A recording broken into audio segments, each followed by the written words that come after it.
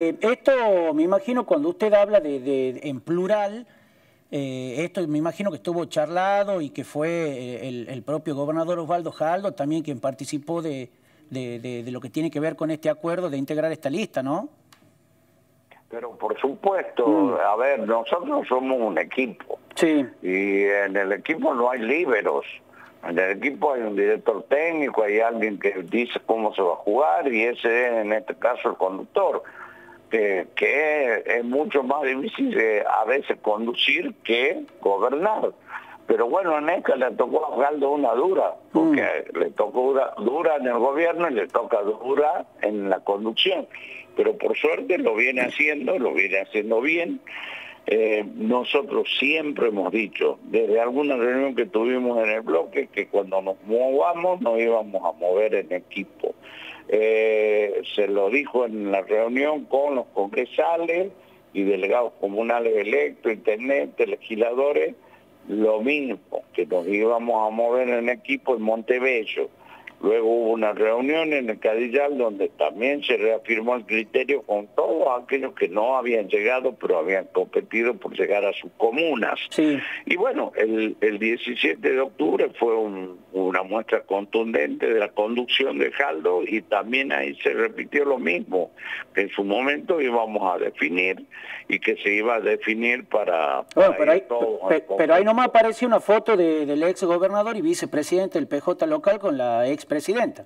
O sea, como que no respetó eso de que iban a... Foto con lo cual evidentemente está en otro equipo, fuera del equipo. Claro. Nosotros, a ver... Fuera del equipo de la conducción local, dice usted. Nosotros sostenemos distinto de lo que puedan creer el ex gobernador, que repito, repito, es su postura. Seguro, seguro. Pero nosotros creemos que si realmente queremos recuperar el gobierno nacional de una buena vez, y fortalecer la democracia y no es el camino en columnarnos detrás del látigo de alguien que si no se someten son traidores, para nada.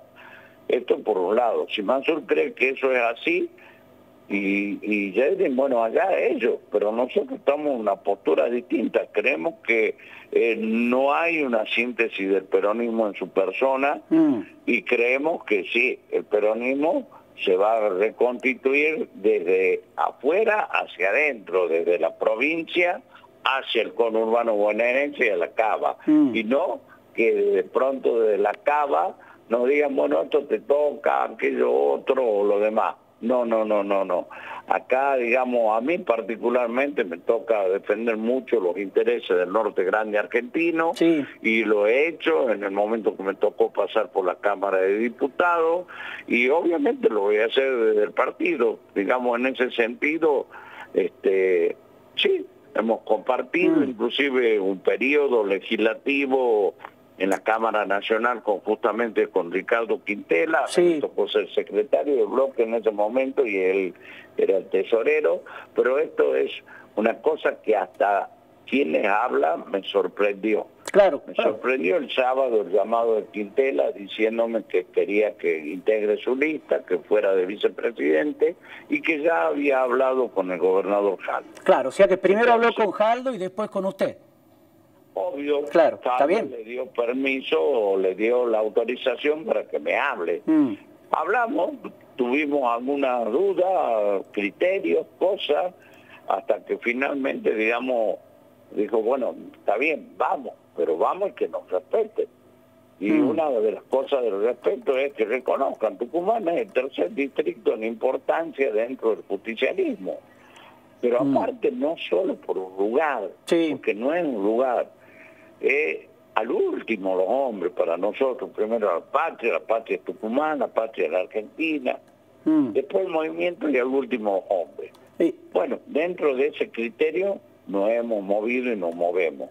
Y sin renunciar a nuestras banderas históricas que son a la vez el programa, y eso sí es la síntesis del programa del mm, justicialismo. Mm. La justicia social, la independencia económica, la soberanía política, a la que no vamos a renunciar nunca porque si renunciamos a eso estaríamos eh, renunciando a lo que es la base y el sustento de la doctrina nacional mm. justicialista. Eh. No queremos tampoco terminar como nuestros primos hermanos, el otro partido tradicional, centenario, que lamentablemente hace dos o tres años no presentan ni candidato a presidente. Mm.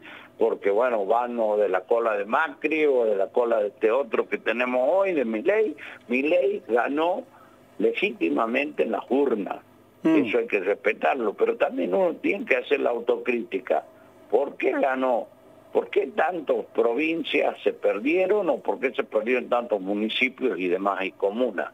Entonces, ¿será que algo no estamos haciendo bien? Mm. Y entonces, bueno, de pronto uno se tiene que condicionar y preguntar, che, eh, ¿ha sido acertado toda la conducción de, de la expresidenta del movimiento? Y la verdad que en el 2015 perdemos con Scioli, pero mm. perdemos con Scioli y Macri, pero perdemos porque le hemos hecho un ámbito también a la mm. interna. Mm el que se quería presentar a disputar la, la, presidencia, bueno, ahí lo tenés, el gobernador de Entre Ríos, a Uribarne, el pato Uribarne, no, usted vos bajate porque vos vas a ser ministro del interior, ¿de qué? De algo que después no ganamos. Claro, claro. A Randazo, no, andate a la casa con tu mamá y cuidar los ferrocarriles desde ahí.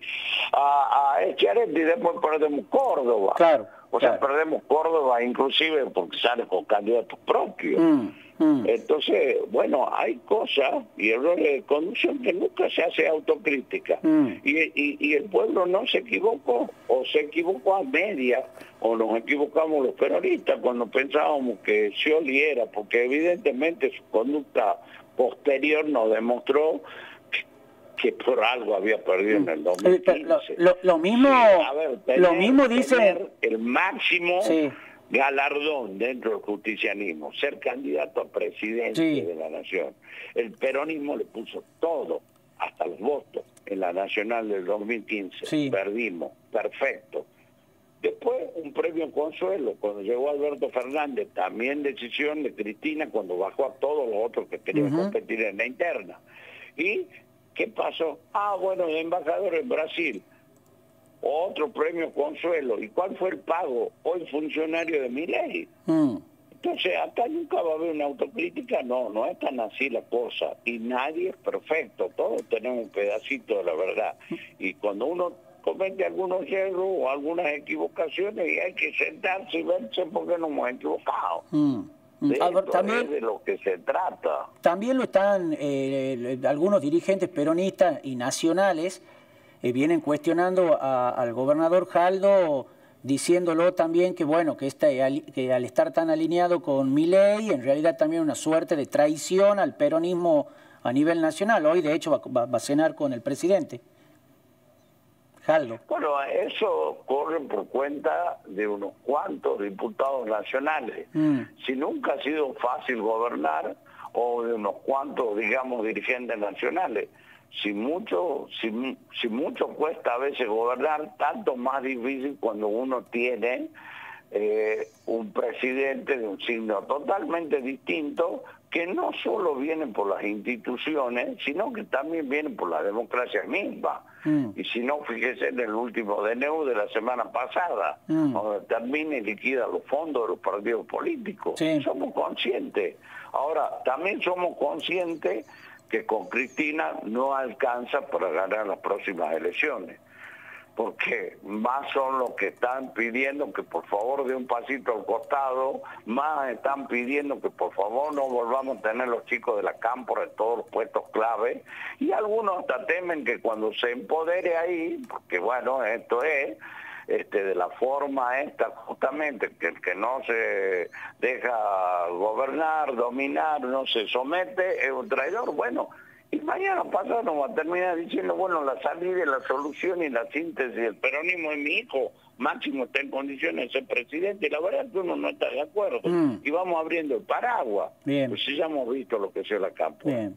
La última... Manejó todo, sí. absolutamente todo. Mm. La última, legislador. Aportó muy poquitos. La última. La, última. Hace, hace un ratito, ah, dígame si quizás, no sé si entendí bien, pero usted dijo que eh, que claramente con los gestos y demás, el senador Mansur no está jugando, digamos, para, para el equipo, o sea, digamos, no está jugando a tono con lo que es el gobierno de Jaldo. usted lo ha dicho, no yo. Mm. Usted lo ha dicho, pero aparte ha dicho una gran verdad. Mientras nosotros estábamos en el en Bellavista festejando el Día de la Lealtad sí. y él estaba en el Instituto Patria haciendo la espera para que ella vuelva del mate y lo atienda. Así de simple. ¿Con mm. quién ha consultado? No sé, desconozco. Posiblemente haya consultado con la gente de su entorno. Posiblemente. O tal vez no y de pronto cuando aparece en la lista ya vocal octavo y no sé cuánto más y el y vocal 20, bueno, amigo, este, hay, hay, hay, tampoco se ha consultado. Mm, mm. Entonces, bueno, de alguna manera una cosa trae la otra, sí, indudablemente que se piensa distinto. Mm. Y se piensa distinto y es llamativo, porque hace dos o tres años él mismo pensaba que esto era un ciclo concluido, que había que ir hacia otras cosas. Y lo dijo un día de la lealtad también. Con otra cosa. O, ¿Se ah. acuerda? Creo que lo dijo también un día de la lealtad de hace un par de años, que, que estaba como concluido el ciclo, no me acuerdo si fue esa misma fecha en la que ahora apareció con la expresidenta. Exacto, yo, yo creo que sí, le había dado certificado de función al kirchnerismo y a ella. Claro, claro, sí. Ah, sí, al extremo que justamente en ese acto que usted se acuerda que fue en el hipódromo, claro. fue invitada. Sí, sí, claro. Bueno. A veces esas son las incoherencias, capaz que estoy equivocado en algún momento y ahora se redime, no no no entiendo, la verdad que habría que, que charlarlo. Gracias, legislador, muy amable, ¿no?